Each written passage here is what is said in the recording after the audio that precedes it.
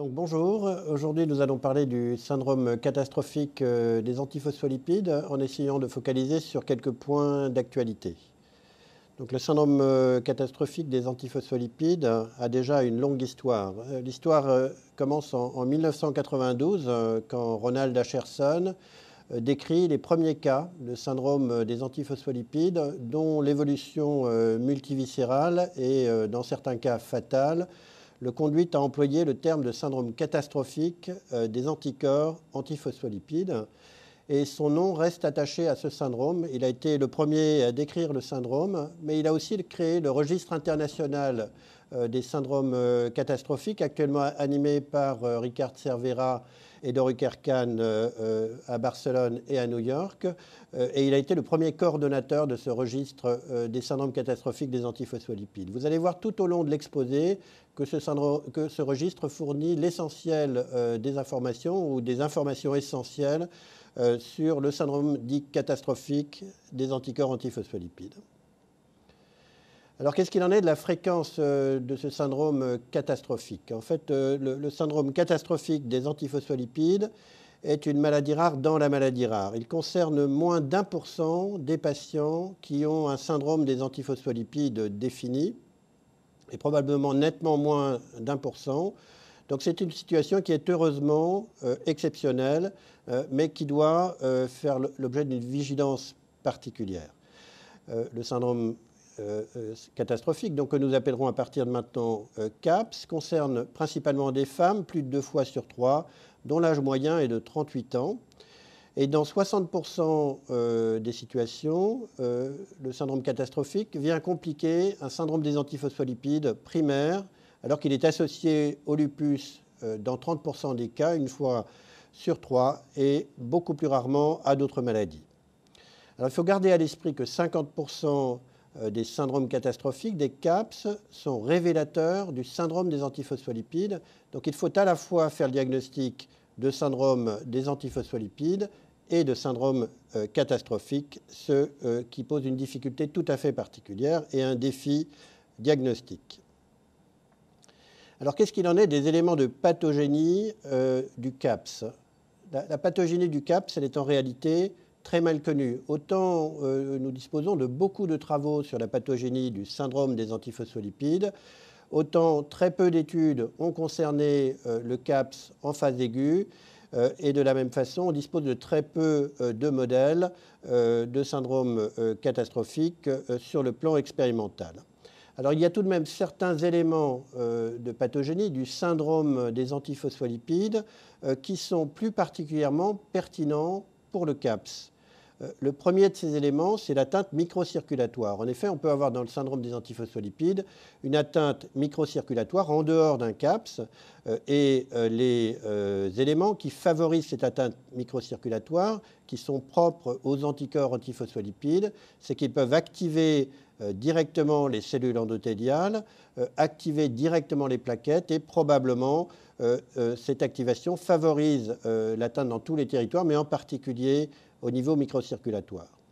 Pour expliquer les manifestations systémiques euh, du, CAPS, euh, tout le monde euh, reconnaît qu'il y a un syndrome de, réponse inflammatoire systémique qui vient compliquer les éléments de thrombose et d'activation endothéliale, mais ça, c'est quelque chose qui n'est pas spécifique du CAPS. Alors, il y a d'autres euh, éléments, en particulier l'émission de, microparticules, de microvésicules plaquettaires et endothéliales, qui, à partir de l'activation de certaines cellules endothéliales, vont favoriser des thromboses disséminées dans l'organisme. Un autre mécanisme potentiel euh, pour expliquer la dissémination des thromboses, c'est l'activation du complément. Et là, par contre, on dispose d'un certain nombre d'études expérimentales, toujours en dehors du CAPS, mais dans le syndrome des antiphospholipides, qui laissent supposer que non seulement l'activation du complément a un rôle dans la pathogénie, mais que son inhibition permet euh, de réduire l'intensité euh, des manifestations thrombotiques. Alors, dans le CAPS, il y a certainement un point qui est très important euh, qui concerne l'altération des inhibiteurs de la coagulation et des inhibiteurs de la thrombolyse, qui explique que le phénomène euh, d'hypercoagulabilité et de thrombose disséminée euh, ne peut pas être contrôlé par défaillance des systèmes régulateurs. Donc tous ces éléments sont importants. Je crois qu'il est important de préciser qu'on a besoin de plus d'éléments pour comprendre euh, le CAPS et en particulier à la phase aiguë. Et là, ce dont on a besoin, ce sont des registres avec des biotech, chose euh, dont on dispose euh, pas ou peu actuellement. Alors parlons maintenant des, critères de classification du CAPS. Qu'est-ce qu'on appelle un syndrome catastrophique des antiphospholipides? La première proposition de critères de classification a été faite une dizaine d'années après la description initiale. Euh, menée par Acherson euh, lors du congrès international de Taormine euh, et a abouti aux propositions suivantes que nous allons détailler tout à l'heure. Donc il y a un certain nombre de propositions de critères de classification préliminaires.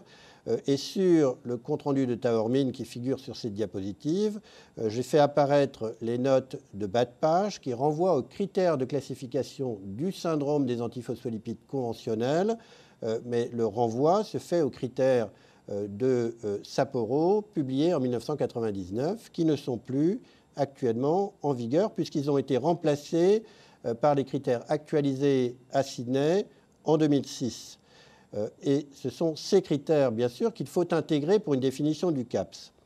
Alors, nos, amis Erkan et Cervera ont fait des propositions d'algorithmes diagnostiques en tenant compte non seulement des critères de classification du CAPS originaux, euh, mais euh, des, critères euh, de Sydney Sapporo et ont proposé des algorithmes diagnostiques qui peuvent être un tout petit peu compliqués, comme l'illustrent ces deux plaques que je ne commenterai pas plus avant. Donc elles ont l'avantage d'être très détaillées et très exhaustives, mais très compliquées.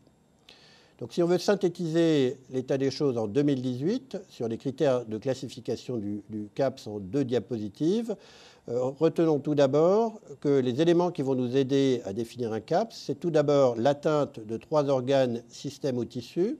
Alors ce qui ne figure pas dans les critères mais que j'ai ajouté à dessein, c'est qu'il s'agit d'une atteinte ischémique ou thrombotique. Parce qu'évidemment, les, patients peuvent avoir d'autres types d'atteintes qui ne définissent pas forcément un syndrome catastrophique. Donc c'est important de considérer que cette atteinte doit être ischémique ou thrombotique et concerner trois organes, systèmes ou tissus. Le deuxième critère est un critère chronologique. Euh, ces atteintes ischémiques ou thrombotiques de trois organes, systèmes ou tissus doivent survenir simultanément ou du moins en moins d'une semaine. Troisième point, euh, critère histologique, confirmation d'une thrombose, d'une occlusion euh, d'un petit vaisseau euh, dans un organe ou un tissu et au moins une preuve histologique. Et enfin, le dernier critère très important est la présence, la mise en évidence d'anticorps antiphospholipides, d'autant plus important que le syndrome des antiphospholipides n'est pas connu antérieurement, que ce soit un lupus anticoagulant, des anticorps anticardiolipides ou des anticorps anti-bêta-2 GP1 l'ensemble euh, de euh, ces anticorps, comme dans le syndrome classique des antiphospholipides, font partie des critères de CAPS et fait partie également la persistance des anomalies biologiques à 12 semaines. Donc, euh, démontrer antérieurement s'il s'agit d'un syndrome des antiphospholipides connu, ou démontrer après l'épisode de CAPS si le CAPS n'était pas défini jusque-là. Alors sur les critères de classification du CAPS, il y a euh, une euh, nuance euh, qui fait que lorsque l'ensemble des critères sont présents, on parle de CAPS défini ou certain. Lorsque un de ces critères vient à manquer, on va parler de CAPS probable, donc plusieurs possibilités. Et la première possibilité, c'est que le patient ne présente pas une atteinte de trois organes ou tissus, mais seulement de deux organes eh bien, il peut être classé en CAPS probable si les trois autres critères sont présents.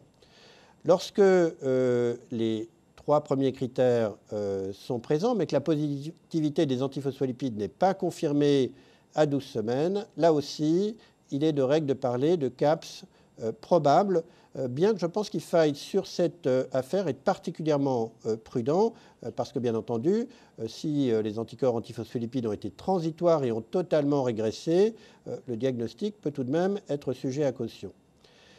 Enfin, figure dans les CAPS probables également les patients pour lesquels il n'y a pas eu la réalisation d'une biopsie, ou du moins elle n'est pas positive. On n'objective pas de façon histologique la thrombose d'un petit vaisseau. CAPS probable aussi. Et enfin, dernière catégorie, mais qui en réalité se superpose à la première de CAPS probable, c'est l'atteinte de deux organes, mais une troisième atteinte d'organes survient après la première semaine et avant le premier mois. C'est une sophistication de l'atteinte de deux organes. Alors qu'est-ce qu'il en est des manifestations cliniques? Tout d'abord, il faut bien concevoir que dans le syndrome catastrophique des antiphospholipides euh, s'ajoute aux thromboses un tableau systémique. Ce tableau systémique peut être variable euh, en fonction du moment où on fait le diagnostic. En effet, lorsqu'on fait un diagnostic précoce, on peut être face à une altération mineure de l'état général, un patient qui va encore bien euh, et qui n'a pas euh, vu s'installer ni de syndrome euh, de, réponse inflammatoire systémique, ni de défaillance multiviscérale, et chez lequel il faut suspecter le CAPS sur des signes d'alerte en apparence mineurs. Dans ce tableau général, il ne faut pas oublier non plus les signes cliniques d'une maladie associée, tout particulièrement le lupus, qui peut être en poussée au moment où on suspecte un syndrome catastrophique. Les signes cliniques vont alors être intriqués et peuvent être plus difficiles à analyser. Nous allons revenir euh, sur l'ensemble des, atteintes spécifiques et en particulier les plus fréquentes. Euh, et je crois qu'il est très important euh, d'insister sur le fait que les atteintes d'organes surviennent très souvent dans un contexte de maladie thromboembolique veineuse évolutive et on va revenir dessus dans quelques instants. Pour ce qui est des manifestations qui sont tout à fait spécifiques du syndrome catastrophique des antiphospholipides, l'atteinte rénale est au premier plan. Trois quarts des patients sont concernés et la manifestation de loin la plus fréquente est l'insuffisance rénale, très loin devant la protéinurie, l'hypertension artérielle aiguë et euh, éventuellement une hématurie. C'est pourquoi on est amené euh, fréquemment à discuter chez les patients qui ont un syndrome catastrophique la réalisation d'une biopsie rénale. Et je crois qu'ici, il faut un message euh, de prudence, parce que les patients qui sont atteints de syndrome catastrophique, et on le verra tout au long de l'exposé, sont des patients euh, qui sont fragiles, qui doivent absolument avoir un traitement anticoagulant et chez lesquels on ne peut se permettre aucune complication hémorragique, euh, et encore moins une complication hémorragique iatrogénique. Donc les biopsies rénales, lorsqu'on peut les pratiquer, c'est souvent par voie transjugulaire et euh, euh, c'est la technique qui est parfaitement maîtrisée au centre de référence de la pitié salpêtrière. Et il serait tout à fait imprudent de réaliser des biopsies rénales transjugulaires dans des centres qui n'en ont pas l'expérience chez ces patients fragiles. Alors, il n'est pas toujours possible de déplacer les patients et parfois c'est une biopsie euh, rénale qui va se discuter par voie transpariétale. Et là, le consensus d'experts euh, qui s'était réuni à Galveston euh, s'était prononcé pour la réalisation d'une biopsie rénale à distance de l'épisode de CAPS pour ne prendre aucun risque vis à -vis de l'évolution et des traitements. Les manifestations neurologiques sont également très fréquentes dans le syndrome catastrophique des antiphospholipides. Euh, et dans les manifestations la plus fréquentes, on peut noter à égalité euh, les accidents vasculaires cérébraux ischémiques et les encéphalopathies euh, plus fréquents que les convulsions ou les céphalées qui peuvent être présents également, mais dans une proportion moindre. Pour ce qui concerne les manifestations cardiaques, on peut être surpris de voir s'installer une insuffisance cardiaque aiguë euh, chez près d'un patient euh, sur deux au moment du CAPS, alors que 30% de ces patients vont présenter euh, des syndromes coronariens aigus et en particulier des infarctus du myocarde. 10% des patients au moment du CAPS vont présenter une valvulopathie et certains une endocardite de Liebmann-Sachs typique avec des nodules valvulaires. Pour ce qui concerne les manifestations pulmonaires, si on exclut l'embolie pulmonaire, sur laquelle on reviendra euh, tout à l'heure, euh, les syndromes de détresse respiratoire aiguë de l'adulte sont fréquents, ils surviennent dans un tiers des cas, euh, et dans 10% des cas, les patients vont avoir des hémorragies alvéolaires, et dans un plus faible pourcentage, des œdèmes pulmonaires. On voit la variété des manifestations pulmonaires non thrombotiques qui peuvent survenir au cours du syndrome catastrophique des antiphospholipides. Alors les manifestations abdominales, euh, hépatiques, digestives, mais aussi euh, endocriniennes abdominales, euh, sont moins fréquentes, si ce n'est les atteintes biologiques, fréquente augmentation des transaminases, mais les atteintes objectives, hépatomégalie, infarctus hémorragique des surrénales, surviennent dans 10% des cas comme des situations d'insuffisance hépatique, l'ictère étant nettement moins fréquent. Alors un point qui est important à rappeler et, qui est issu du registre CAPS sur les 500 premiers patients, c'est que le syndrome catastrophique et l'ensemble des manifestations viscérales survient dans un contexte souvent de maladie thromboembolique veineuse aiguë et on voit ici euh, que les patients se présentent dans plus de deux tiers des cas avec une thrombose veineuse profonde euh, et ou une embolie pulmonaire. Donc les manifestations systémiques surviennent euh, dans un contexte de MTEV aigu. ceci va nous aider à suspecter un CAPS. En définitive, quand est-ce qu'il faut, en pratique clinique, suspecter un CAPS? Il y a bien sûr deux grandes situations qui sont possibles. La première situation, c'est un patient qui a un syndrome des antiphospholipides qui est déjà connu. Et eh bien là, toute atteinte viscérale nouvelle doit faire évoquer euh, un CAPS ou un CAPS débutant. Euh, euh, lorsqu'on connaît le, syndrome des antiphospholipides. Bien entendu, c'est beaucoup plus difficile lorsque le syndrome des antiphospholipides n'est pas connu, parce que souvent, à ce moment-là, le patient va être référé lorsqu'il a déjà plusieurs atteintes viscérales et il aura souvent un tableau clinique plus sévère. Donc, une situation thrombotique, de maladie thromboembolique veineuse, d'AVC ischémique ou d'infarctus du myocarde qui s'accompagne de signes systémiques, rénaux, neurologiques, euh, pulmonaires, euh, dès qu'on suspecte ou qu'on documente une atteinte viscérale, il faut réaliser un certain nombre d'orientations biologiques simples. Bien sûr, la recherche d'anticorps antiphospholipides, si ceux-ci ne sont pas connus antérieurement, et leur recherche en urgence pour faire un diagnostic rapidement et mettre en œuvre les mesures thérapeutiques adaptées. Mais on peut également s'aider de signes biologiques très simples qui sont l'évolution de la numération plaquettaire, euh, le, dosage des dédimères, euh, qui, lorsqu'ils sont très élevés, peuvent orienter euh, vers une situation euh, de thrombose systémique. Bien sûr, d'autres investigations biologiques peuvent être nécessaires selon le type d'atteinte, troponine, BNP lorsqu'il y a une atteinte myocardique, la fonction rénale et les paramètres de fonction respiratoire devant toute suspicion d'atteinte respiratoire. Mais un certain nombre d'examens biologiques simples, au-delà des anticorps antiphospholipides, peuvent nous aider à identifier un tableau systémique euh, évocateur euh, de syndrome catastrophique. Alors pour illustrer cela, nous allons montrer quelques euh, imageries de, patients, deux patientes. Donc la première patiente est une patiente jeune de 18 ans qui se présente en relativement bon état général, mais avec un tableau euh, qui va être diagnostiqué sur un scanner thoraco-abdominal qui va permettre de révéler d'emblée plusieurs atteintes viscérales. Alors, sur le, scanner initial, on, voit des troubles de la perfusion hépatique, qui est une complication relativement rare euh, du syndrome euh, catastrophique des antiphospholipides, ou du moins relativement rarement documentés.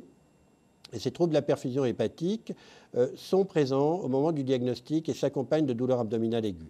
Chez cette patiente, on voit signalé ici par la flèche rouge une surrénale droite qui est atrophiée et calcifiée et qui témoigne probablement d'un infarctus ancien. Euh, et donc, euh, alors cette atrophie est unilatérale, l'autre surrénale euh, est fonctionnelle. Donc la, patiente n'a pas de tableau d'insuffisance surrénalienne, mais elle a déjà, au moment du diagnostic, une atteinte d'une glande surrénale. Et sur ce même scanner abdominal, on voit d'autres signes qui sont décrits dans le CAPS. Une pseudocholécystite euh, qui est inflammatoire mais pas infectieuse et qui est une manifestation de syndrome catastrophique des antiphospholipides. Et on voit ici plusieurs plages d'infarctus rénal qui signent l'atteinte rénale, même si cette patiente avait une fonction rénale conservée initialement.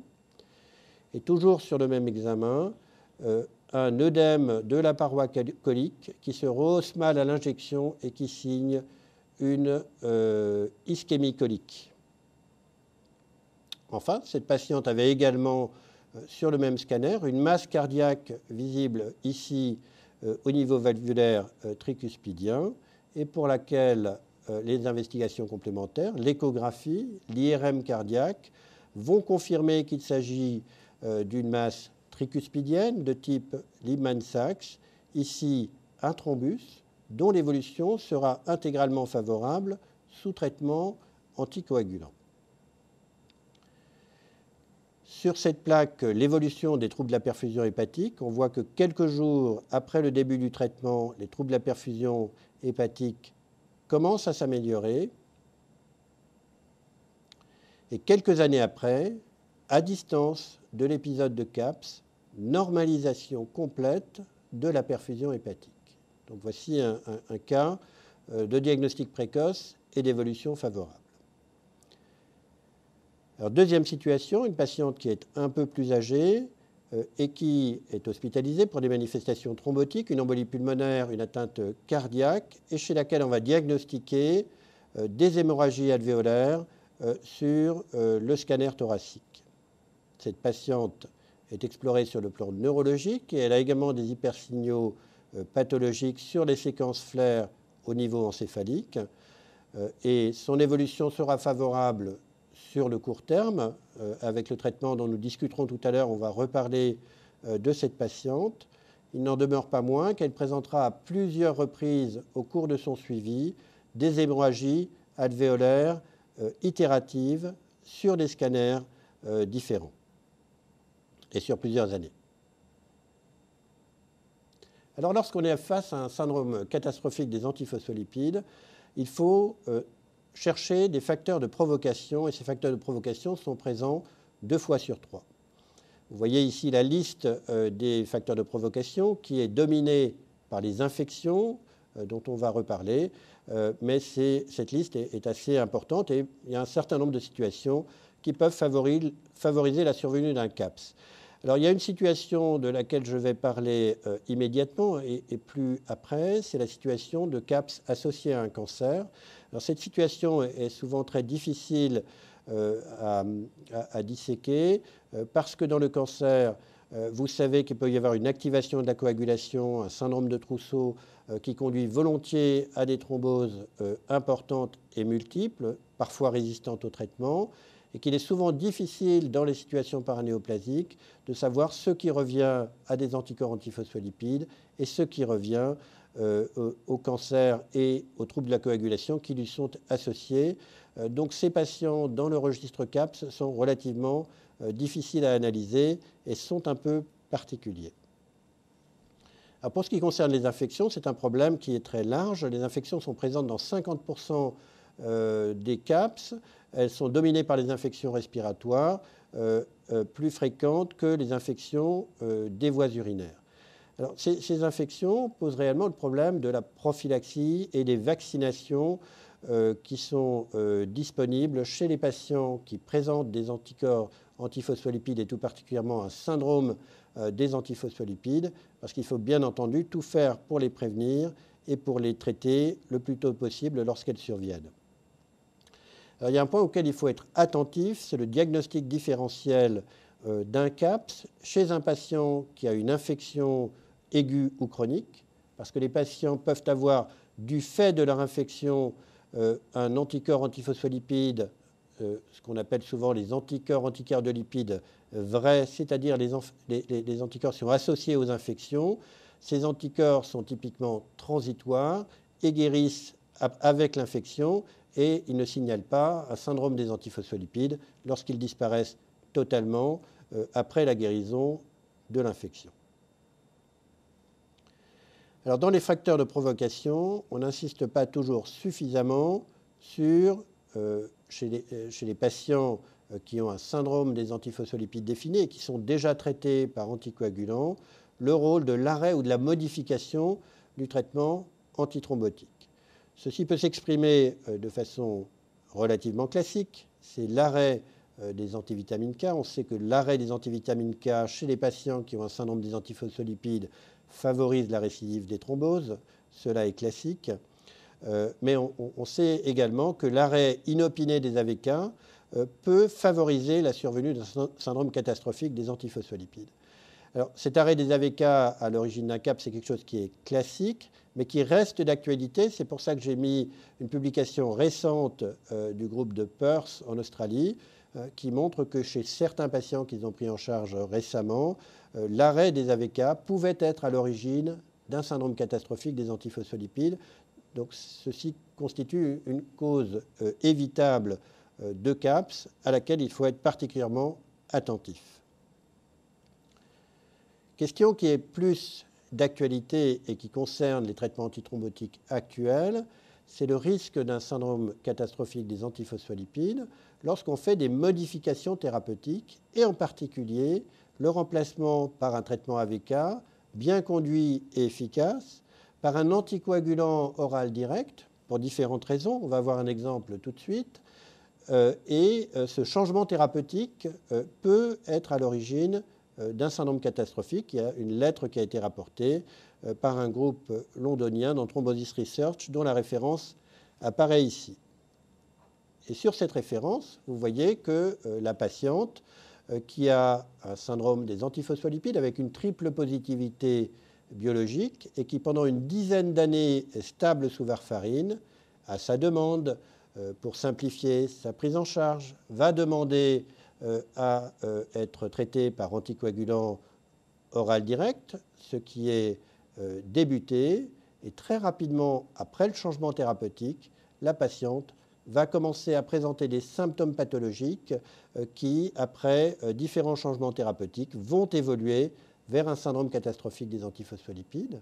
Et puis, ultérieurement, elle reprendra son traitement euh, AVK précédent et avec ce traitement sera parfaitement stabilisé. Donc ceci est une alerte particulière pour euh, les, changements thérapeutiques euh, non nécessaires chez des patients qui vont bien sous antivitamine K. Il faut être extrêmement prudent et vigilant avant de les changer de classe thérapeutique, en tout cas si on n'a pas de raison déterminante de le faire. On peut imaginer que certaines raisons euh, puissent être déterminantes, en particulier euh, un équilibre thérapeutique insuffisant sous AVK. Dans certaines situations, nos patients ne sont pas bien anticoagulés euh, sous AVK, ne sont pas souvent dans la cible d'INR, et à ce moment-là, les changements peuvent s'envisager. mais lorsqu'on fait le changement sans rationnel tout à fait établi chez un patient qui va bien, là, les risques pris sont plus importants. Alors, dans les facteurs de provocation de CAPS, euh, la, chirurgie est présente une fois sur cinq, euh, y compris parfois pour des gestes de chirurgie esthétique. Euh, nous avons pu rapporter récemment un CAPS survenu après chirurgie esthétique chez une jeune patiente. et là encore, je crois qu'il faut insister sur la prophylaxie. Et le message, c'est de limiter les chirurgies aux chirurgies euh, nécessaires et il faut sans doute éviter euh, chez des patients qui ont des antiphospholipides, une triple positivité, un syndrome des antiphospholipides, euh, des chirurgies esthétiques qui peuvent conduire à des complications graves. Dans la grossesse, qui est présente dans 8% des CAPS, il peut y avoir des manifestations particulières, bien sûr le, le HELP syndrome, mais également des thromboses placentaires, des microangiopathies thrombotiques utérines ou des thromboses euh, veineuses pelviennes euh, qu'on n'observe pas euh, dans les autres situations. et là encore, le, CAPS, au cours de la grossesse, a quelques caractéristiques particulières. Enfin, moins fréquemment à l'origine d'un syndrome catastrophique, la poussée lupique, cependant décrit dans 3% des patients qui sont dans le registre CAPS. Et à ce sujet, nous avons euh, rapporté récemment euh, l'exemple d'un patient qui présente un syndrome lupus anticoagulant hypoprothrominémie. Donc ce syndrome a été largement décrit depuis de nombreuses années et les patients qui ont des anticorps antiphospholipides avec un syndrome lupus anticoagulant hypoprothrominémie ont plutôt un profil pro-hémorragique parce qu'ils consomment euh, leur facteur 2 de la coagulation, leur prothrombine, euh, et ils font plus souvent un tableau hémorragique qu'un tableau thrombotique. Et un de nos patients qui était concerné par euh, ce syndrome LA-hypo2 et qui était asymptomatique sur le plan clinique, a présenté à l'occasion d'une première poussée de lupus, alors qu'il n'avait pas de lupus antérieurement, un syndrome catastrophique des antiphospholipides, avec notamment une atteinte cardiaque, dont les séquelles sont décrites ici sur le schéma avec la flèche verte. Une cause tout à fait récente euh, de syndrome catastrophique des antiphospholipides et qui fait déjà l'objet de plusieurs euh, rapports, euh, c'est des syndromes catastrophiques qui sont survenus chez des patients qui ont des thrombopénies auto-immunes avec les analogues de la thrombopoïétine. en effet, les, groupes de Lille et de Bordeaux ont rapporté euh, des cas de syndrome euh, catastrophique chez des patients traités par cette molécule, dont on sait qu'elle se complique parfois de thrombose. Eh bien, chez des patients qui ont des syndromes des antiphospholipides, ces thromboses peuvent se compliquer de syndrome catastrophique. Et il faut évidemment euh, faire très attention avant d'utiliser cette molécule. Je crois qu'on peut dire qu'elle est contre-indiquée dans le syndrome des antiphospholipides défini, même s'il y a un PTI associé. Alors, le diagnostic différentiel euh, du CAPS peut être euh, difficile et compliqué avec un certain nombre euh, de, pathologies que j'ai représentées ici, qui vont de l'orage thrombotique à la thrombopénie induite par l'héparine. il partage avec ces différents diagnostics différentiels des manifestations qui peuvent être communes, euh, dans l'orage thrombotique, qui n'est pas nécessairement associé aux antiphospholipides, les patients font une première thrombose et après une succession de thromboses euh, difficiles à contrôler. Euh, la différence avec le, syndrome catastrophique, qui peut être une forme d'orage thrombotique, c'est que l'orage thrombotique peut survenir en dehors de tout syndrome des antiphospholipides. Le diagnostic différentiel des microangiopathies thrombotiques peut également être difficile. Tout d'abord parce que dans le CAPS, il peut y avoir une consommation de l'ADAMS 13, euh, donc ça peut participer à la pathogénie. Et ensuite, euh, parce que dans les microangiopathies euh, thrombotiques, et en particulier dans le PTT, vous pouvez avoir la présence d'anticorps antiphospholipides, parfois transitoires, qui peuvent compliquer le diagnostic. Les CIVD sont également un diagnostic différentiel difficile notamment parce qu'elles peuvent être associées lorsqu'il y a euh, des CAPS associés à des infections euh, de type sepsis grave. On peut avoir à la fois un CAPS et des manifestations euh, de CIVD, donc il n'est pas toujours facile de faire la différence entre ce qui revient aux anticorps antiphospholipides et à la CIVD elle-même. Le HELP est une complication classique du syndrome des antiphospholipides au cours de la grossesse. Il peut être associé à un CAPS et enfin, la thrombopénie induite par l'héparine euh, peut être un diagnostic différentiel assez compliqué parce que souvent dans le CAPS, vous avez une thrombopénie et certaines manifestations cliniques comme la nécrose hémorragique des surrénales peuvent se voir dans le syndrome des antiphospholipides, mais peuvent se voir aussi euh, dans euh, le CAPS.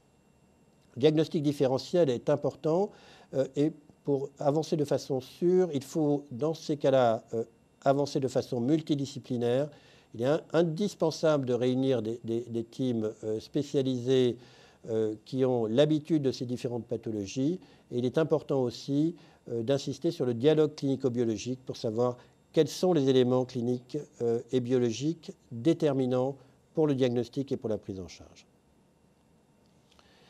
Alors le traitement classique euh, du syndrome catastrophique, c'est ce qu'on appelle maintenant euh, la triple thérapie. On considère que c'est le traitement de référence et c'est ce, qui est considéré du reste depuis euh, le colloque de Taormine, que les patients doivent être traités par une association d'héparine, de corticothérapie systémique, et euh, soit euh, d'immunoglobuline polyvalente intraveineuse, soit d'échange plasmatique. L'ensemble de ces facteurs étant considérés comme nécessaires pour traiter de façon efficace un CAPS. Alors, il ne faut pas oublier pour autant de traiter le facteur causal. Alors, ceci dit, dans le colloque de Taormine, il y avait une euh, suggestion qui est un peu surprenante, euh, qui disait qu'il fallait aussi, lorsqu'il y avait un organe nécrotique, considérer une amputation.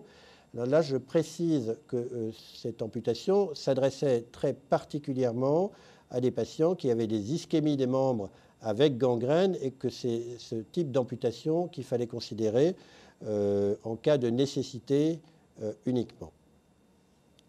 Donc dès Taormine, l'idée d'un traitement triple avec de l'héparine intraveineuse puis des anticoagulants oraux à distance de la phase aiguë, des corticoïdes, des échanges plasmatiques ou des immunoglobulines intraveineuses était le traitement de référence.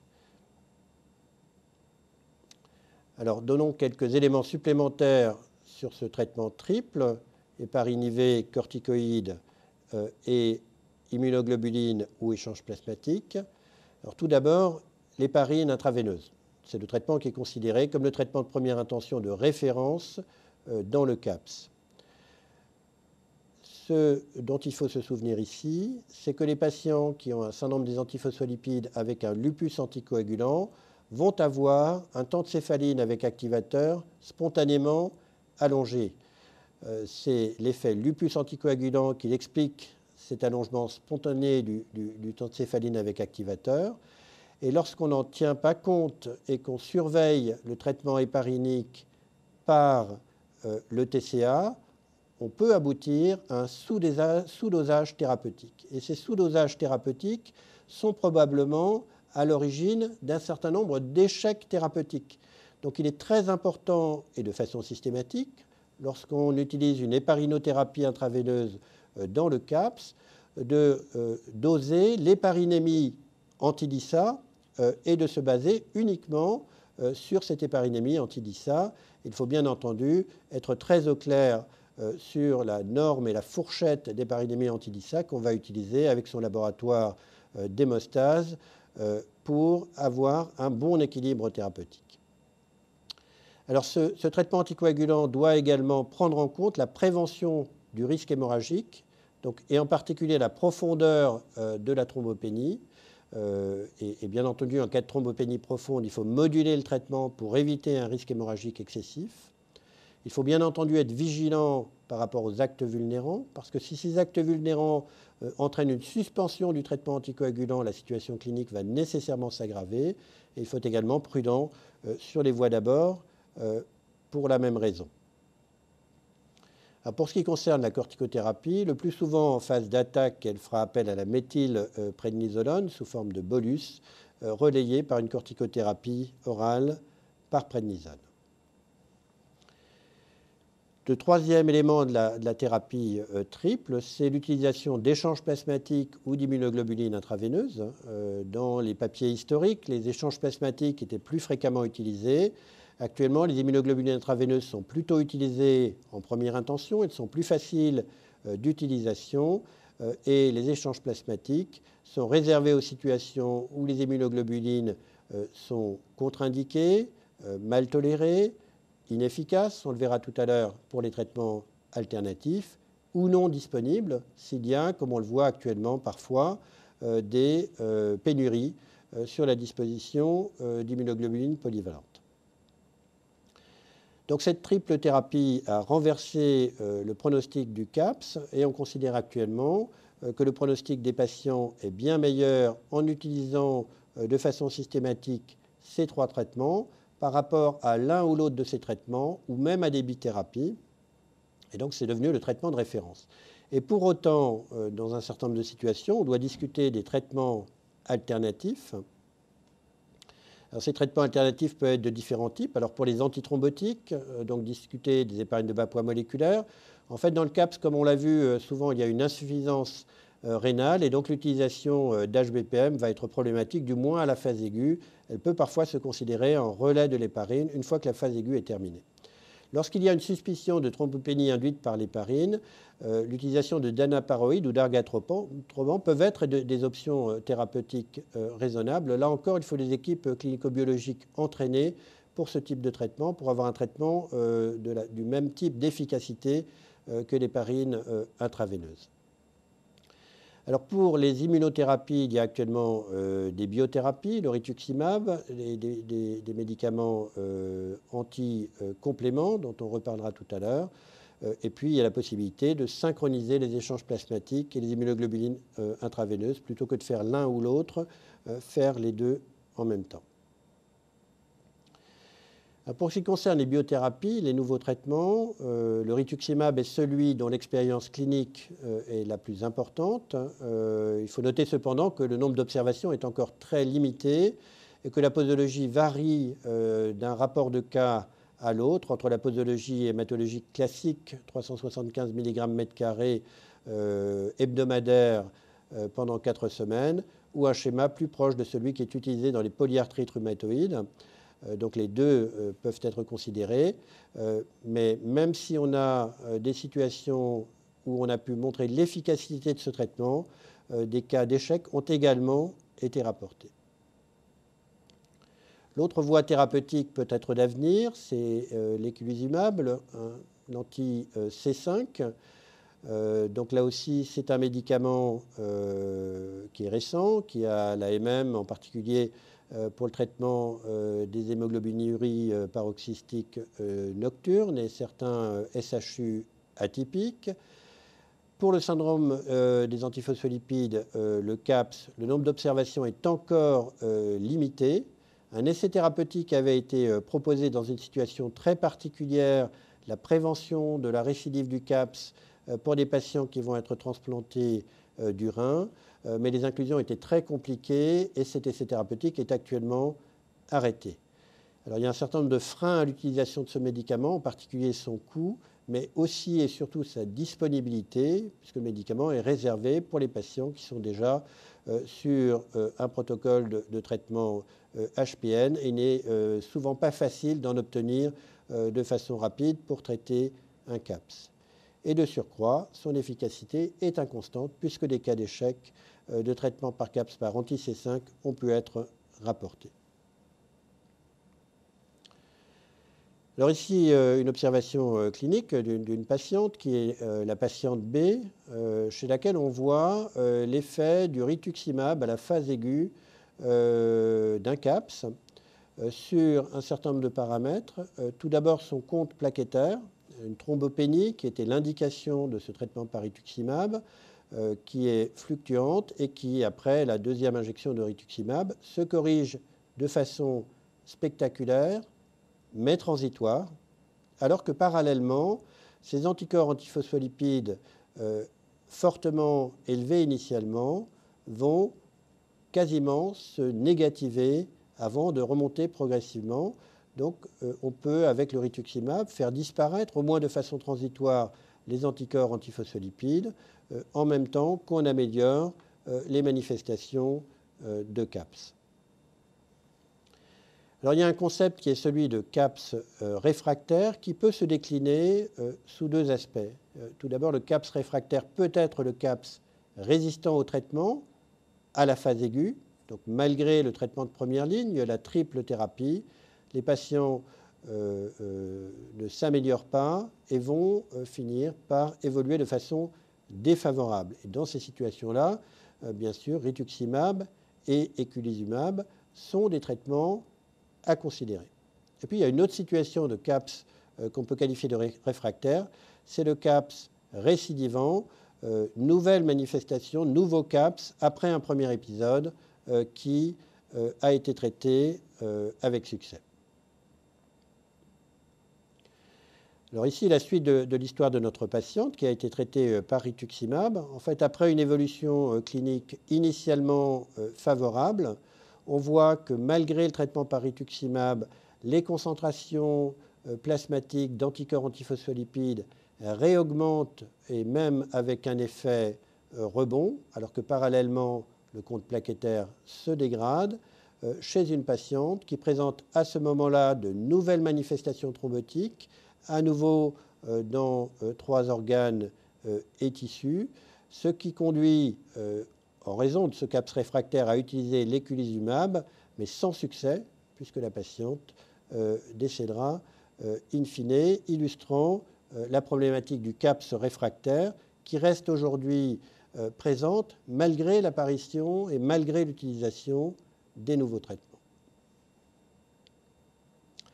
Alors qu'est-ce qu'il en est du pronostic euh, ultérieur du CAPS? Pour, ce qui concerne l'épisode initial, la mortalité globale du registre CAPS en 2018 reste importante avec une mortalité qui est proche de 40%. Ceci dit, les analyses temporelles qui ont pu être faites euh, par euh, Cervera et Ercan montrent que sur les patients inclus plus récemment, cette mortalité est en diminution, euh, se rapproche des 30%, donc il y a indiscutablement une amélioration du pronostic à la phase aiguë. Mais qu'en est-il du pronostic ultérieur chez les patients qui ont survécu à un premier épisode de CAPS? Pour cela, nous disposons des données euh, euh, en 2003, où euh, une analyse longitudinale avait été faite chez 58 patients survivants d'un premier épisode de CAPS. Et ce qui avait pu être constaté, c'est que sur ces 58, donc pratiquement 60 patients, 10% présentaient des manifestations cliniques de syndrome des antiphospholipides ultérieures. Heureusement pour eux, des manifestations moins graves, mais ils avaient toujours une maladie symptomatique. De façon plus défavorable, sur ces 60 patients, 10 étaient décédés au cours du suivi. Alors, dans certains cas, rien à voir euh, avec euh, le CAPS, mais plutôt une maladie sous-jacente pour le, patient décédé euh, par myélofibrose. Mais trois patients sont décédés, décédés par défaillance multiviscérale et certains patients euh, ont présenté d'autres manifestations euh, fatales de syndrome des antiphospholipides. Alors, dans cette série d'ERCAN de 2003, il n'y avait pas de récidive de CAPS, mais euh, vous avez vu tout à l'heure que j'avais indiqué que dans un papier plus récent de 2008, un certain nombre de patients, une dizaine, présentaient un CAPS récidivant. Donc, c'est une évolution qui est, qui est malheureusement possible. Donc, ce qu'il faut retenir, c'est que le pronostic de la phase aiguë s'est amélioré mais que les patients ont un pronostic à long terme qui est tout de même réservé, souvent à cause des séquelles euh, des atteintes de la phase aiguë, que bien entendu leur surveillance euh, doit être très active, qu'ils peuvent récidiver sous la forme d'un CAPS, mais également d'autres manifestations de syndrome des antiphospholipides.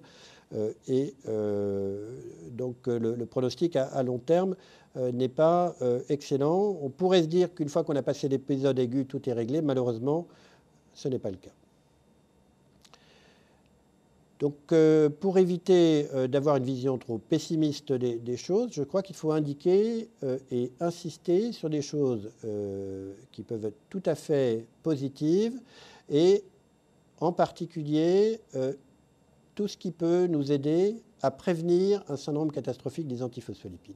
Et en fait, il y a un certain nombre d'éléments sur lesquels on peut être actif. Donc, Doru Kerkan avait en 2002 euh, proposer euh, des euh, précautions pour la prise en charge périopératoire des patients avec syndrome des antiphospholipides pour éviter qu'au cours de cette intervention, ils ne présentent un syndrome catastrophique. Et il insistait sur le fait qu'il fallait être très attentif au cours d'une intervention chirurgicale ou à son décours chez des patients qui présentent des anticorps antiphospholipides pour suspecter et prendre en charge un CAPS très précocement.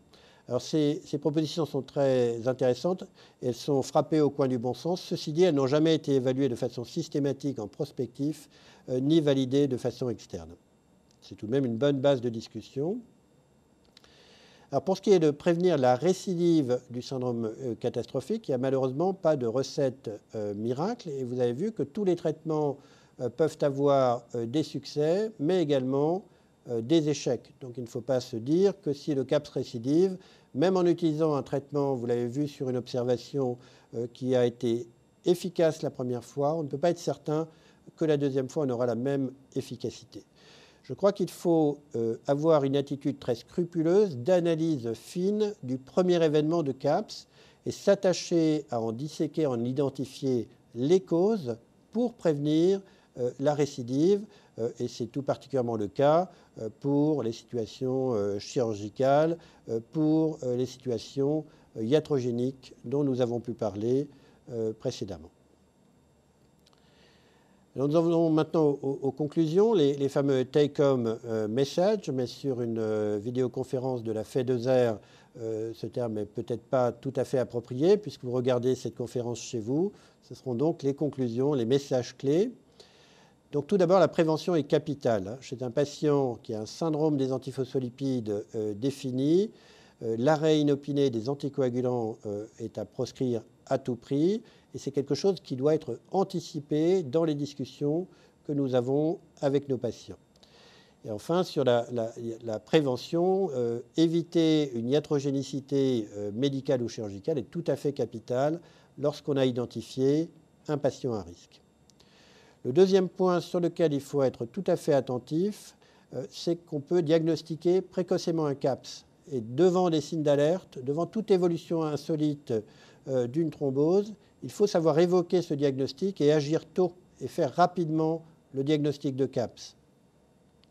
Et donc, c'est des patients euh, qui, lorsqu'ils ont un syndrome des antiphospholipides avec une évolution euh, anormale, doivent pouvoir, euh, doivent pouvoir, contacter leur centre de référence, leur centre de compétences, pour qu'on puisse mettre en œuvre les mesures adaptées. Troisième point important, c'est éviter les pièges thérapeutiques. On a insisté assez lourdement, je crois, là-dessus, sur le fait d'éviter les sous-dosages en traitement anticoagulant qui sont des causes évidentes d'échec mais également les surdosages qui peuvent conduire à des complications hémorragiques et à l'interruption du traitement qui ne euh, pourra pas euh, euh, garantir une évolution favorable. Donc actuellement, il faut garder en tête que la place des anticoagulants et des antiplaquettaires est tout à fait importante pour la prévention du CAPS. Pour les CAPS définis, il y a un certain nombre de traitements en développement pour lesquels on a besoin de plus d'éléments et plus d'éléments sur leur utilisation pratique. Quand est-ce qu'il faut recourir au rituximab? Quand est-ce qu'il faut recourir à l'éculizumab? Est-ce qu'il y a lieu de réaliser de nouveaux essais thérapeutiques dans ce domaine? Je pense euh, très sincèrement que oui, même si c'est difficile et compliqué et que ce sont des patients rares. Je pense qu'en dehors des essais thérapeutiques, on aura du mal à avancer euh, au-delà de la situation actuelle. Il faut tenir compte du coût, de l'efficacité et des risques des traitements euh, qu'on va utiliser. Je pense qu'un aspect qu'on méconnaît euh, encore trop souvent, ce sont les aspects éthiques euh, et en particulier sur l'utilisation de certains traitements dans des situations cliniques qui peuvent être considérées comme des impasses thérapeutiques. Il faut réellement une utilisation raisonnée du traitement que les traitements soient accessibles euh, aux patients, euh, mais de façon euh, réaliste et raisonnée. Donc j'en terminerai avec cette présentation et je vais juste donner quelques éléments d'information complémentaires pour que vous puissiez avoir d'autres éléments d'information sur le CAPS en particulier et sur le syndrome des antiphospholipides en général. Je rappelle simplement que euh, le Congrès européen des anticorps antiphospholipides s'était déroulé euh, à Nancy en avril 2017, euh, comme vous pouvez le voir ici, et qu'en septembre 2018, le 11e meeting du Forum européen aura lieu aux Pays-Bas à Maastricht, et vous êtes tous invités à participer à cette réunion, à y faire des présentations à proposer euh, de nouvelles études euh, qui pourront être déployées sur l'ensemble du Forum européen. Pour ceux qui sont intéressés par le syndrome des antiphospholipides en général, je rappelle qu'il y a un primer qui est un iBook qui est disponible gratuitement sur l'Apple Store euh, et qui permet pour les étudiants en médecine et pour les jeunes médecins de se mettre à niveau sur le syndrome des antiphospholipides et le CAPS, mais d'un point de vue très général. Pour ceux qui souhaiteraient une spécialisation particulière, euh, Doru Kerkan et Michael Dokshin euh, ont édité un livre chez Springer euh, qui reprend les principaux éléments et qui fait la synthèse des connaissances actuelles, et en particulier du colloque de Chypre qui s'est déroulé en 2016. Je vous rappelle que nous avions déjà une vidéoconférence de la FEDESER sur le syndrome des antiphospholipides sur une vision plus large. Et j'en terminerai en remerciant euh, pour le raid logistique Erika Chula et Zahira Moura euh, et euh, les équipes de recherche auxquelles je participe à l'INSERM et mon équipe clinique au CHRU de Nancy. Et je vous remercie de votre attention.